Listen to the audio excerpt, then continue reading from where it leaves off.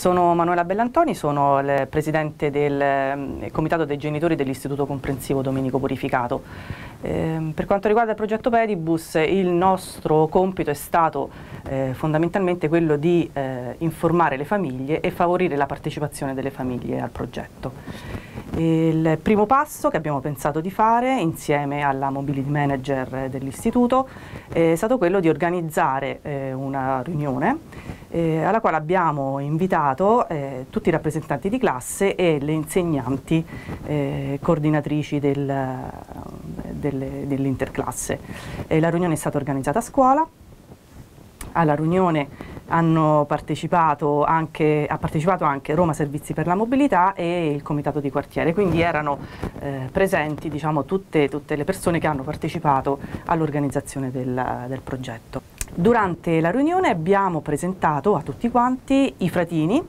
eh, che erano stati acquistati precedentemente dal comitato di quartiere. Sui fratini avevamo fatto stampare il logo del Pedibus che ci è stato fornito da Roma Servizi per la Mobilità. E nella stessa occasione abbiamo presentato anche le nostre paline, eh, una sorta di grande totem di cartelloni eh, con eh, su, eh, su, scritto il nome del percorso con i colori del percorso. Devo dire che sono stati estremamente utili. Allora, i cartelloni li abbiamo fatti in casa, ehm, abbiamo all'interno del comitato un genitore che fa il grafico di professione, che ha creato la locandina, eh, stata, eh, la locandina è stata ovviamente approvata dal mobility manager, l'abbiamo poi stampata e semplicemente grazie eh, a dei cartelloni e a dei tubi di, di cartone abbiamo creato il nostro totem ehm, per, che ci è servito durante i percorsi. Dicevo che sono stati utili perché, ehm, per due motivi fondamentalmente. Il primo riguarda i bambini. Eh, la mattina durante il percorso i bambini erano molto divertiti e anche orgogliosi di andare a scuola con il fratino indosso e, ehm, e poi c'è stata una sorta di gioco, di corsa a chi voleva portare il, la palina eh, e quindi fare da capofila per andare, per, per andare a scuola. Eh, la, seconda, la, seconda, cosa per cui sono stati estremamente utili eh, è stato il fatto che rendevano il gruppo del Pedibus estremamente riconoscibile lungo, lungo il percorso.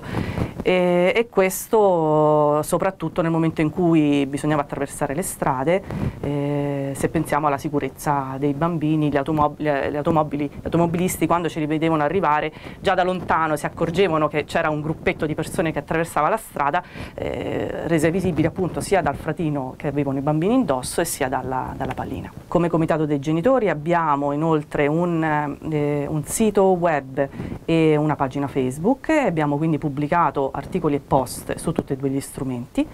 E abbiamo inoltre una grande mailing list di tutti i genitori che sono eh, iscritti al comitato dei genitori e anche tramite email abbiamo inviato le informazioni che riguardavano il Pedibus.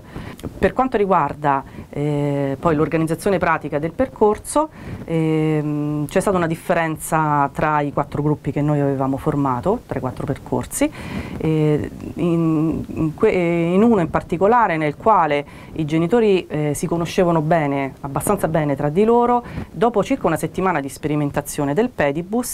eh, i genitori hanno subito iniziato a voler ehm, eh, suddividersi eh, l'accompagnamento a, a, scuola. Eh, questo è stato fatto semplicemente tramite un foglio condiviso, eh, un file condiviso tra i genitori, ehm, stato, è stato quindi, abbiamo,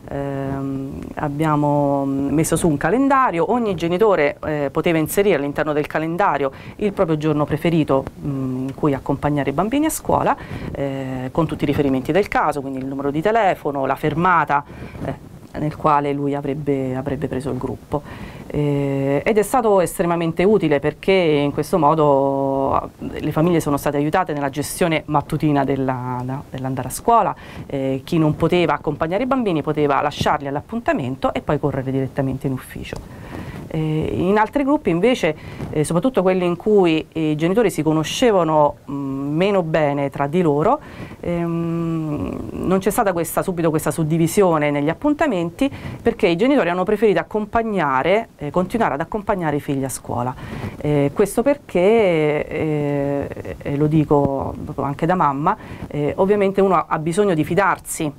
eh, quindi di conoscere prima bene l'adulto a cui si sta affidando il proprio figlio. Eh, però devo dire che il risultato alla fine eh, dell'anno scolastico è stato molto bello perché soprattutto in questi gruppi dove i genitori si conoscevano di meno stata, eh, si sono create nuove amicizie e sono, sono, venuti fuori anche momenti di socializzazione, c'è chi voleva andare assolutamente, e parlo anche degli adulti e non solo dei bambini, voleva partecipare al pedibus anche solo per poi prendersi un caffè di, una volta lasciati i figli a scuola e, e prima di andare in ufficio basta mm, eh, puntare un po' sulla partecipazione dei bambini perché poi sono anche loro che tirano dentro, che tirano dentro le famiglie e hanno voglia eh, di partecipare, di andare a scuola a piedi perché diventa un momento divertente. E per le famiglie è sicuramente un momento di, di, di, di aiuto e di supporto in, in, anche la mattina quando bene o male siamo tutti un pochino di corsa. Spero adesso eh, finito l'anno scolastico